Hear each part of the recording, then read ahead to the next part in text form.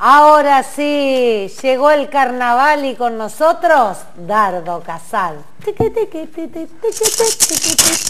De cumbia somos, pero miren chicos, antes de comenzar a hablar del carnaval, un fuerte abrazo a toda la gente de la barriada de Villa Gaucho, Palermo y aledaños que hoy nos encontramos en la municipalidad en defensa del Limache. El Limache no se va. Ahora sí, vamos con el carnaval. Estuvo ahí Flor de Murga ahí en el municipio apoyando. Estuvimos tratando el tema en el programa. Bueno, y el carnaval que siempre trae una temática diferente y este año...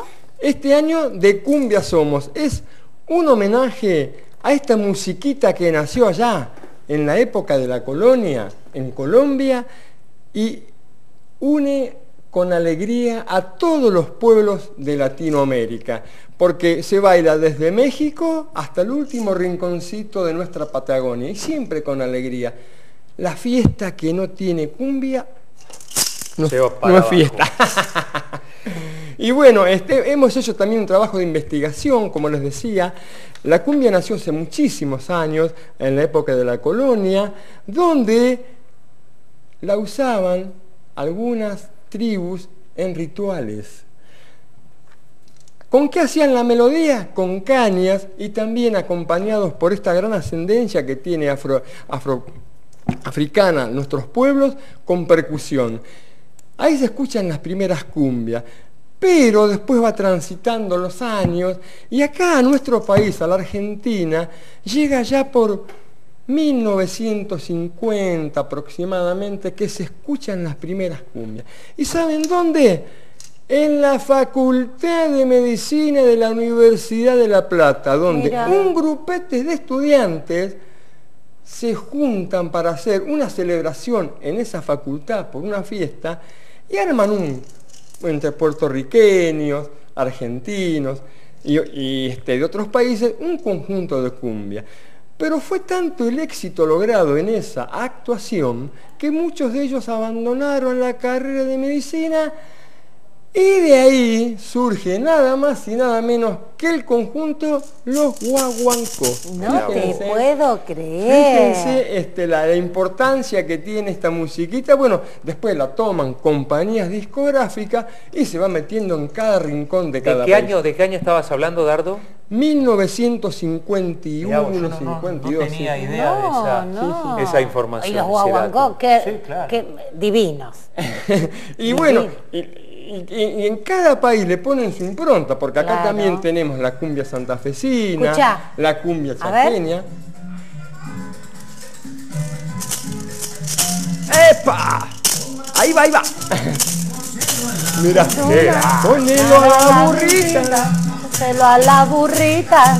Y, y como les decía, cada país le pone su impronta. Acá eh, hay varias derivaciones de, esas de, esas primarias cumbias, la cumbia santafesina, la cumbia chaqueña, la, cumbia villera, pero son todas ramificaciones que han surgido de esta música tan pero tan alegre que por suerte podemos disfrutar. Ay, qué lindo. Toma, un cachetazo de, historia, ¿eh? Impresionante, es cierto, como la investigación eh, bueno, así que basado en la cumbia, ustedes están preparando el carnaval. Así es, con un sentido de unidad latinoamericana, este, Flor de Murga se presenta con este espectáculo, como lo hemos dicho, de Cumbia Somos.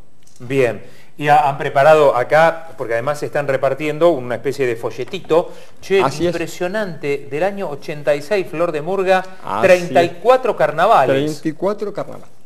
Qué. Saliendo a la calle con la pasión más grande de mi vida. Pero también digo esto, lo mejor que tiene Flor de Murga son sus integrantes, los de antes, los de ahora y seguramente los que vendrán. Qué lindo. Che, mirá quién te saluda acá. A ver. Un abrazo grande a Dardo y a su flor de murga de parte de Luis Veloz, ahora vecino. Ay, Luisito. Luisito, querido, estamos ahí, están Hoy tiene cumpleaños de la nieta, Luisito. Mirá. si no me equivoco, mirá. Gracias, Luisito. Sí. Luis, abrazo grande, Angélica también, un abrazo muy grande. Eh, vecinos ahora, mira, no sabía. Mira. Qué grande. A una cuadra, se cambió el barrio y él cambió también su vida. lo hizo muy bien haber el barrio de las ranas. Claro, escúchame Dardo, eh, ¿cuándo podemos disfrutar? ¿Dónde? Bueno, los cuatro días locos de carnaval son, vamos a vivir. lunes, martes, Sábado y domingo, empecé, yo digo, arrancó Yo dije hasta Sábado, domingo, lunes, y martes. ¿Dónde? En la avenida del Valle, en la avenida del Encuentro. Está programado comenzar tipo 19 para empezar 19.30. Anda temprano, te vas a ubicar en la tribuna, hay sillas. La gente del Club Ferro es la encargada de llenar todo el predio del carnaval con ese humo que van dejando los choricitos, ¿viste? Y trabaja con las cantinas. Agradecemos también al club este, Ferrocarril Sur. Y esta fiesta, para mí que es la fiesta del pueblo, por muchos motivos. En primer lugar, están todos los, o casi todos los barrios de Tandil representados, en murgas, comparsa, grupos de percusión o grupos de candombe. Están todas las clases sociales en el carnaval.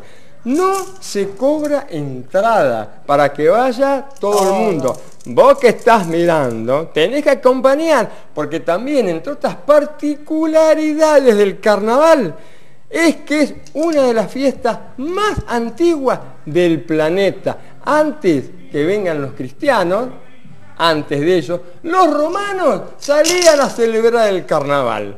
Digo, y acá, en el mundo, en la mayoría, en la mayoría de, las partes del mundo, se celebra y se festeja el carnaval.